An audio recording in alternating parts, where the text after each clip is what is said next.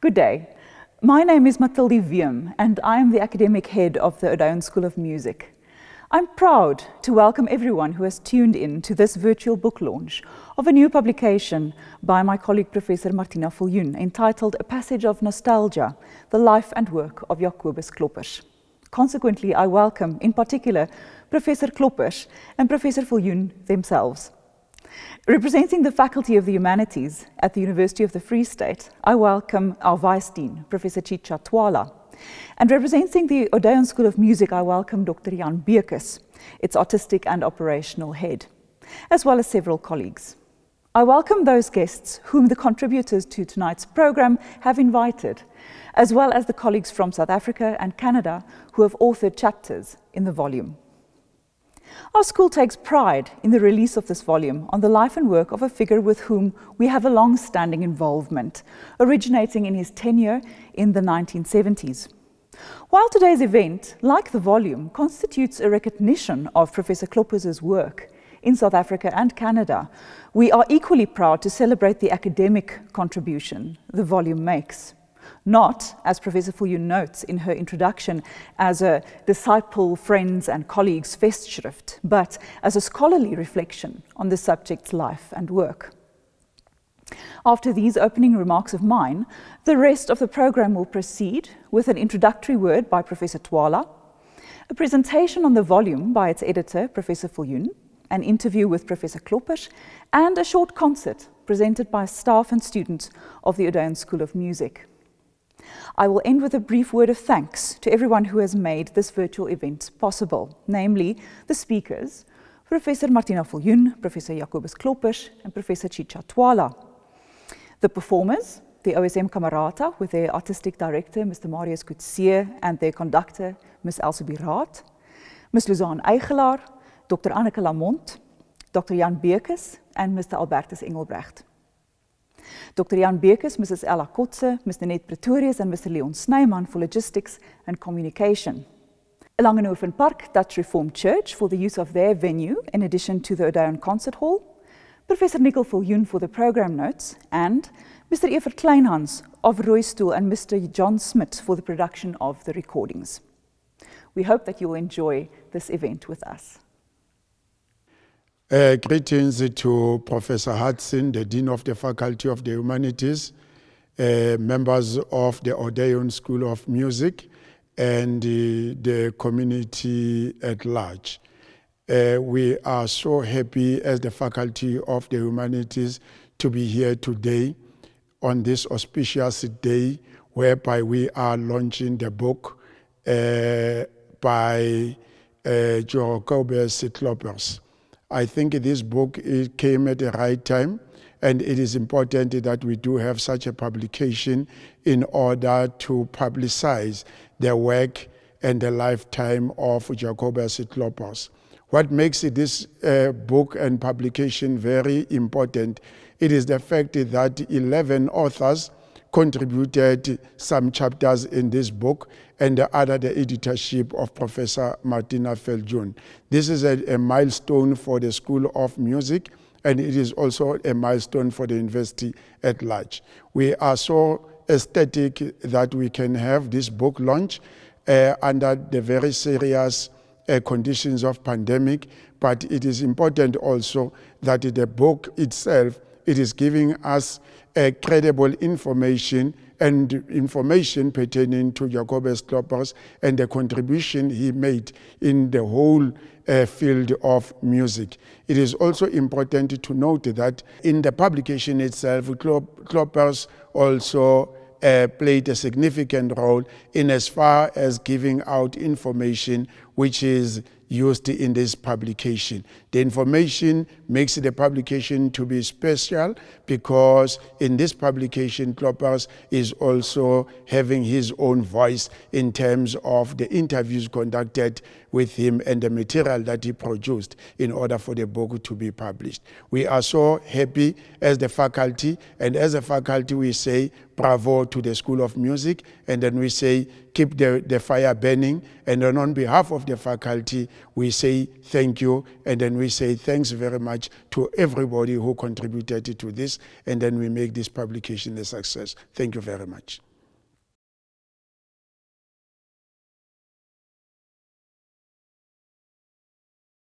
As an eminent composer, organist, pedagogue, and scholar, Jacobus Klopper significantly contributed to musicological and organ teaching in South Africa and Canada, and in the latter context, art music and liturgical composition.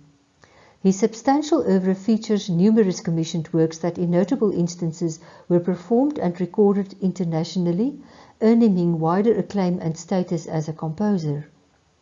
At the Odeion School of Music, University of the Free State, since his departure for Canada in 1976, there has been a lasting impression of Kloppers's contribution during the 1970s to transform this institution from a department mostly of regional relevance to one that introduced the discipline of systematic music studies to the broader South African musicological community and one that offered its students the benefit of Kloppers's specialist knowledge on Bach's organ oeuvre and rhetorical studies.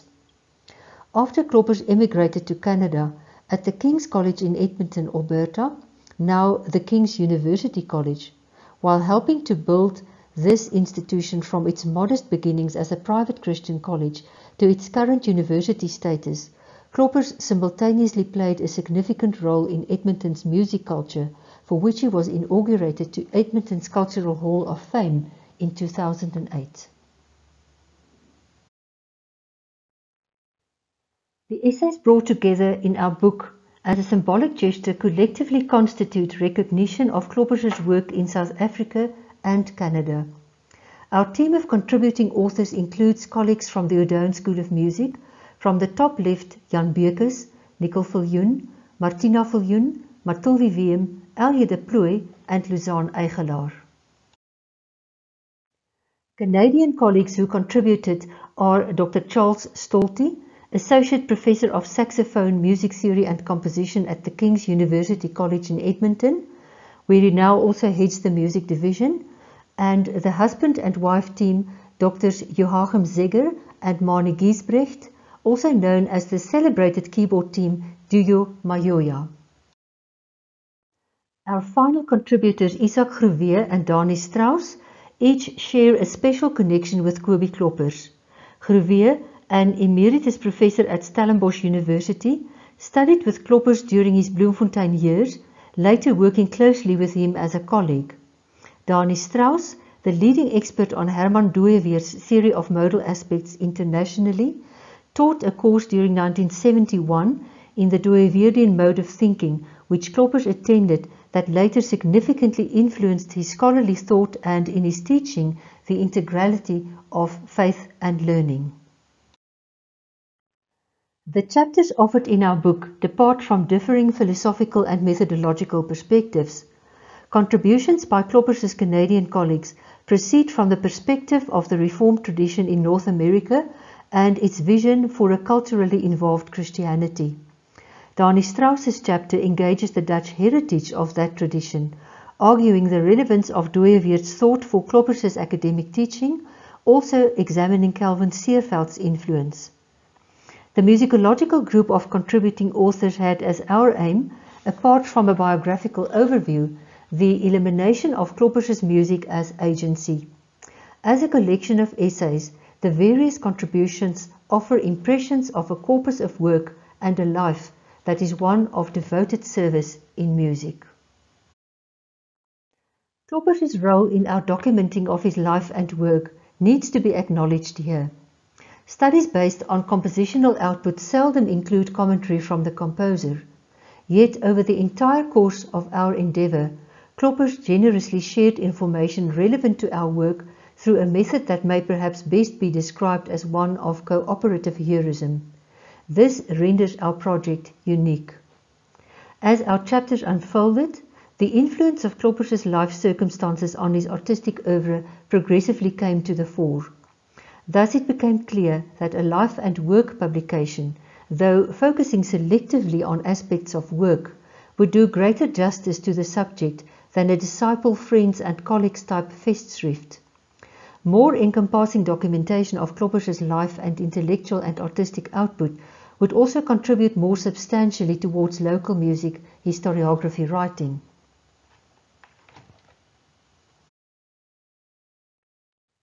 Many of our guests tonight will know that Kloppers's adult life in South Africa coincided with the era of apartheid and how already during his postgraduate study in Germany, 1961 to 66, increasingly he became critical of the injustices of apartheid.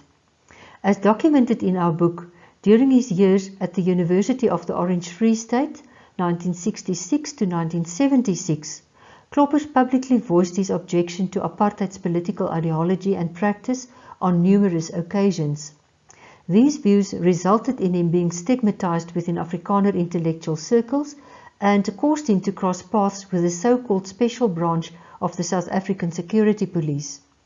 Eventually, these developments gave rise to his decision to resign from his university position and his immigration to Canada with his family without the prospect of a professional position in that country.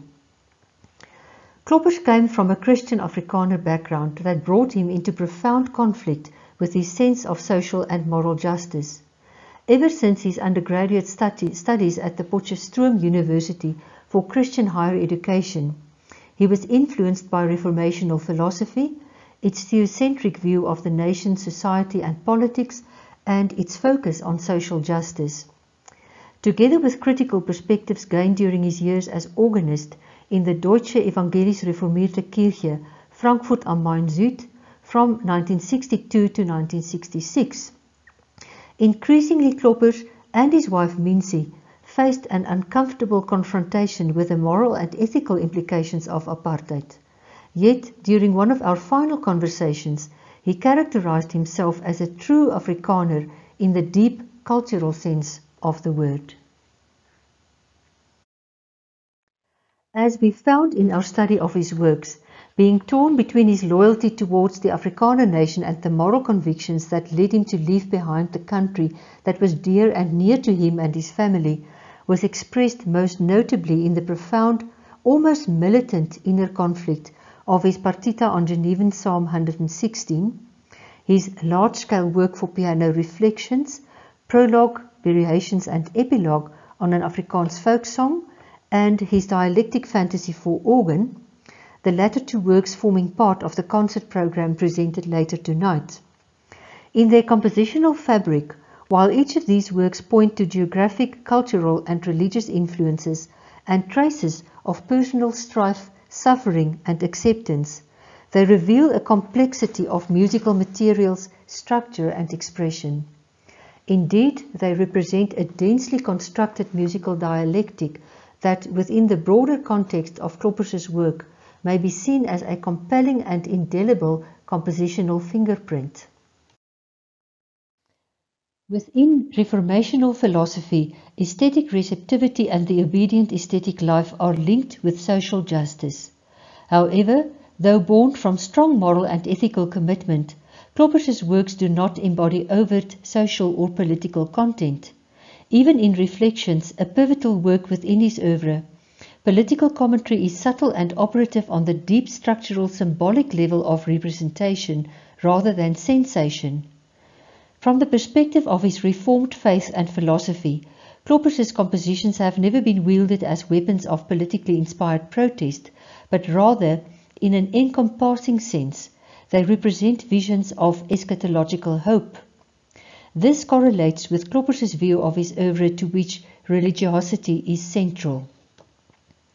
At this point, our guests may wonder why, within the context of divine anticipation, the construct of nostalgia is an overarching theme to our volume.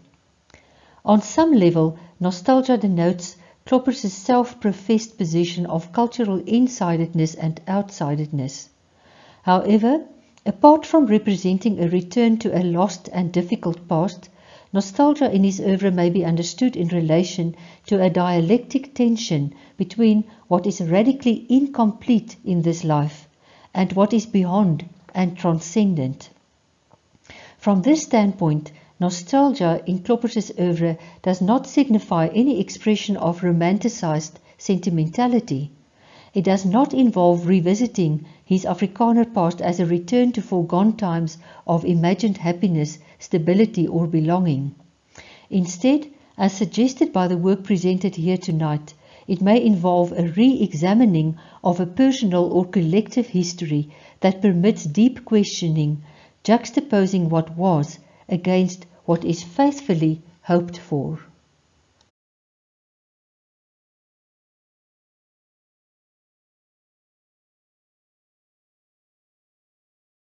Good morning, Professor Kloppers. It is a privilege for me to do this interview with you as the subject of our book publication. Thank you so much for making your time available, and I remain hopeful that we will be able to celebrate the book again in a face to face meeting at a more opportune time. Good morning, and thank you. I would like to begin the interview by discussing perspectives on the connection between life and work as explored in the publication. The introduction to the volume explains that the influence of your life circumstances on your artistic oeuvre progressively came to the fore as the chapters unfolded, and that this realization prompted the life and work format of the publication. Your own involvement with the book's gestation over an extended period of time is also acknowledged in the publication. May I ask if new insights about the relationship between your life and work occurred to you in the context of that process? They certainly did. Before the publication of the book, I've been aware of, to a certain degree, of this relationship. But the book, as well as the interviews that preceded it, brought it in sharper perspective. I will briefly mention this relationship with regard to my work in musicology as well as my compositions. In musicology, the relationship between my life and work is evident as I moved from Potchefstroom to Frankfurt to Bloemfontein and to Edmonton, at least with regard to my understanding and teaching of this discipline. In each milieu, I was intellectually challenged and shaped, forced to grapple with new ideas and concepts and to find answers. In the 2015 discussions in Bloemfontein, I was also asked about my views and methodology in the teaching of musicology, which led to further reflection. Charles Stolte's interview regarding my musicological journey prompted me to revisit anew my views and how they were affected or modified by place and time. In my compositional work, I've been conscious to a certain degree of how my life and work related but there is much that happens subconsciously and which might be more obvious to the onlooker, hearer, or observer of my music. I can mention an example of this.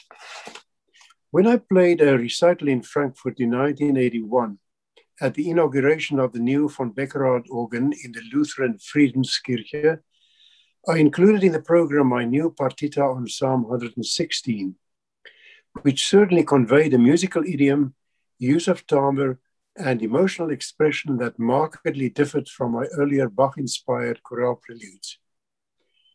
After hearing the work, the wife of the organist, who had been a fellow student in Frankfurt at the time of my study with Walcha, and who had spent some time in South Africa with us, observed that my music has developed a new kind of mystical quality. And she wondered whether my work in the Anglican Church was at the root of this. She contrasted this new style to what she described as the more lean, rational way of composing in the Lutheran tradition. In a similar way, I was forced to consciously look at the wider context of my music when interviewed by Martina Viljoen, uh, Nicol Viljoen, and Jan Beukes. They made objective, contextual observations of the works that had never occurred to me in reading the various analyses of my music in the book, I was struck again by the writer's keenness of observation and establishing connections between the work and my life circumstances. One of those connections that stand out quite starkly is the event of your immigration to Canada.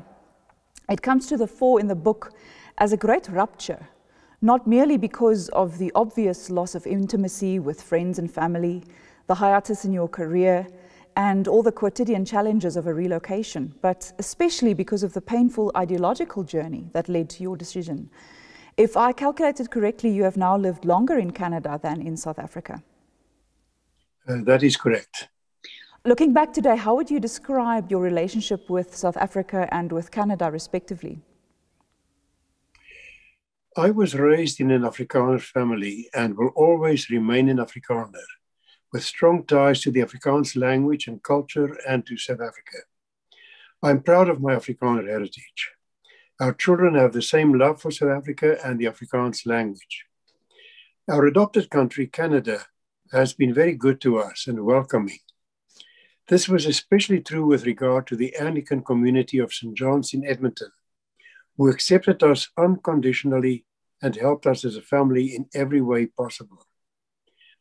We feel at home here as Canadian citizens and love the country, its beauty and diversity, but above all, its tolerance and welcoming nature towards newcomers, its multicultural policies. This does not mean that it is flawless, as we in time discovered. Every country has its wrongs and injustices, past and present. Of importance is whether it deals with these wrongs and whether it is endeavoring to create a better and just society. Excuse me. In the past, settlers to Canada, like most colonials, tended to occupy the land and impose a European style of living at the expense of its indigenous peoples. They made treaties with indigenous peoples that were not always honored. They instituted an advanced farming and industrial infrastructure, including exploration and distribution of natural resources, which sometimes proved to be detrimental to the natural habitat and life of the indigenous people.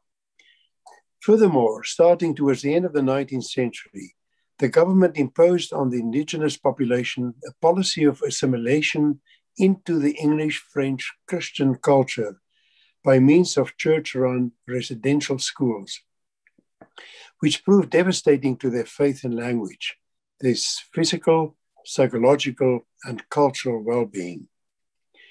Only in the last decades were these injustices recognized by the government and churches, and an effort was started towards compensation and reconciliation. The Anglican Church, of which we are members and in which I've served as organist since my arrival, is part of that healing process. The King's University, in which I taught for 35 years, continues to play an important role as well in promoting social justice and shalom. Apart from Indigenous issues, there are also elements of hidden racism and gender based mistreatment in Canada that need to be addressed.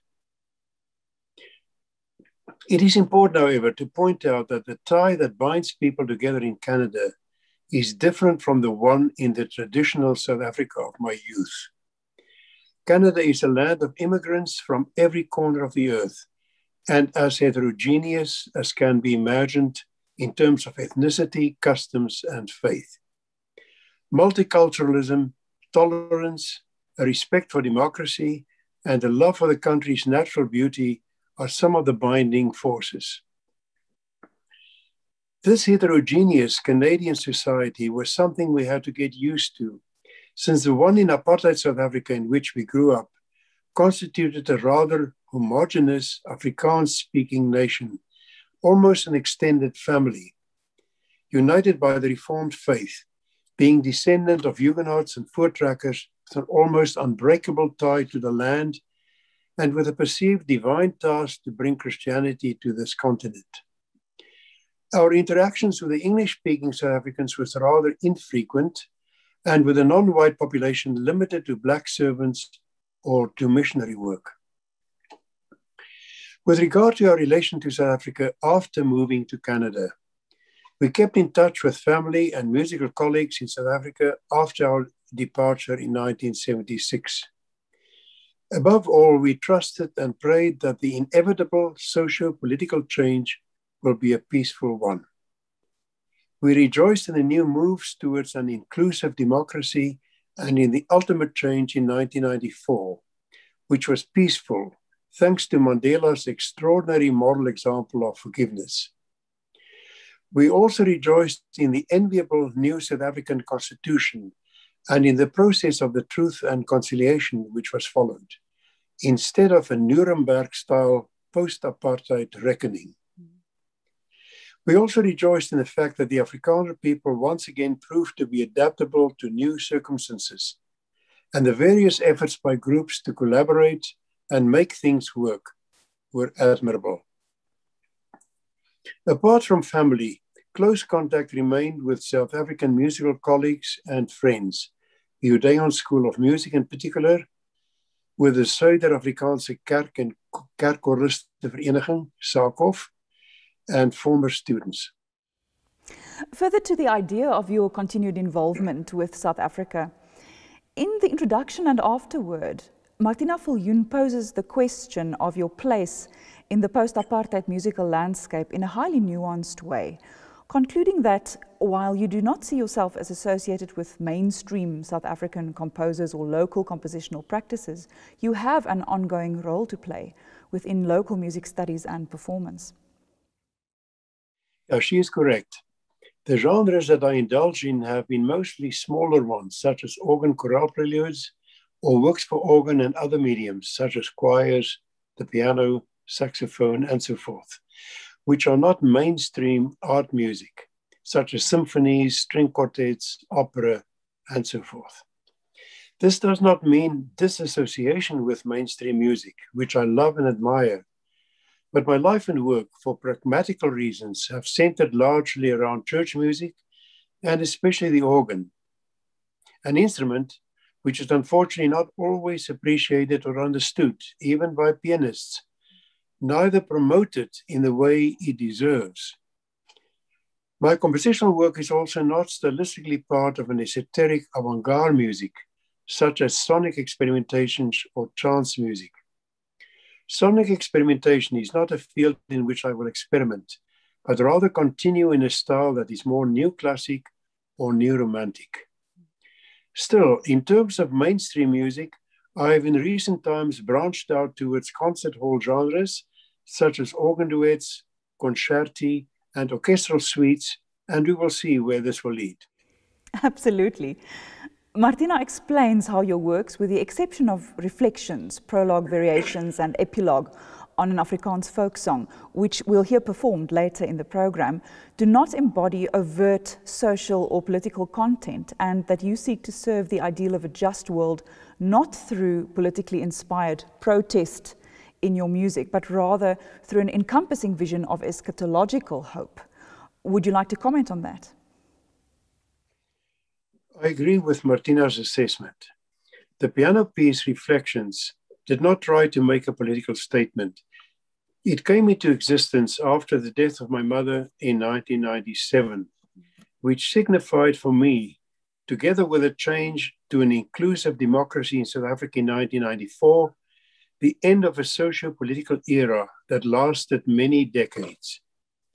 The work sprung from an empathy with my Afrikaner people's ideals, the established understanding of its past, their sufferings and achievements, but also their illusions in the unjust apartheid era. Regardless of my rejection of the way the Afrikaner government tried to secure political and cultural security by means of the apartheid system, I naturally understood how the Afrikaners view their history, and I empathized with the ultimate disillusionment, with the realization that the dream of socio political independence has faded. Although there is much expression of pain and disillusionment in Reflections, written in 1998, it also speaks of courage, hope, and acceptance, adaptability, even when there are still lingering questions about the future of the Afrikaans culture without any political security. Is it important to you that South Africa should have a place in your legacy as a composer? Absolutely. I'm deeply indebted to South Africa and will love to continue to contribute in my own way to its rich musical culture. And I can add, long may you be able to do so. It now remains for me to thank you once again for your participation in this interview, and I hope you will enjoy the rest of the program with us. Thanks so much. Thank you.